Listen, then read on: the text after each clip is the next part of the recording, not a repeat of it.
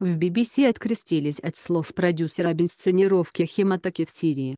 Телерадиовещательная корпорация BBC прокомментировала заявление продюсера компании Риама Далати о том, что видео из госпиталя в доме с якобы пострадавшими в результате химатаки людьми было постановочным.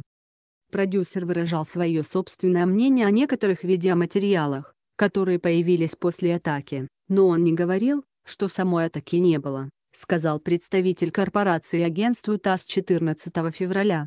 Расставить точки над Идлибом. Саммит в Сочи решит судьбу анклава.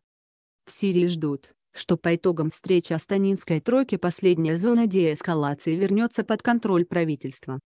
Заявление дала и официальный представитель российского МИДа Мария Захарова назвала кульминацией театра абсурда, ведь в качестве доказательств факта совершения атак корпорация приводила собственные материалы, при этом Москва изначально указывала на постановочный характер видеокадров.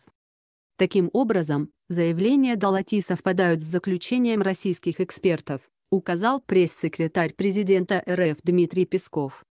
Информацию о якобы совершенной сирийскими военными атаке с применением химоружия в Думе распространила неправительственная организация «Белые каски» в апреле 2018 года.